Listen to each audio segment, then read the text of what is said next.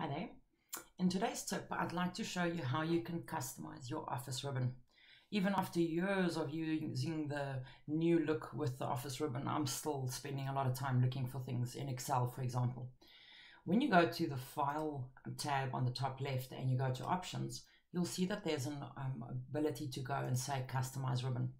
On the left-hand side, I'll see all the popular commands, and on the right-hand side, I'll see um, the ribbon as is, which consists of tabs and of groupings.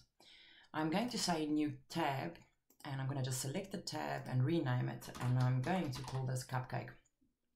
And then once I've added the new tab, I can click on this group and I can actually rename it. So I do want to create groups that represents the things that I always look for. So again, new group, going to rename this. This is going to be functions and I'll do another group and I'll call this uh, cool stuff.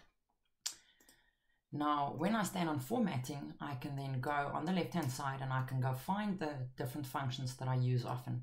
So I'm going to use font color, format painter, maybe decrease font size, full color for sure, font absolutely, um, and then on functions, I want to use insert function, I'm going to use uh, the auto sum as well. And of course I can add any others that I'd like to. And then, well, I think I've added yeah, some. And, uh, and then other, other cool stuff I'd like to show you that um, this is the popular commands that's actually in your ribbon. But if you click on that drop down, it'll show you commands not in ribbon. There's over 300 options in this uh, set of functions that uh, you most probably didn't even know existed. So when I go to cool stuff, the one that I do want to add with it, which I think is pretty cool, and you need to try it out sometime, is called Speak Cells.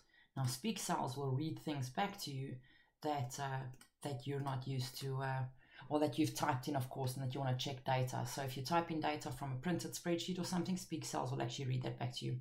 Now, that's all that there is to it, is creating groups. Then the last thing I want to do is I'm going to select that and actually just move it up to the top because I do want that to be the ribbon that opens when I open up Excel.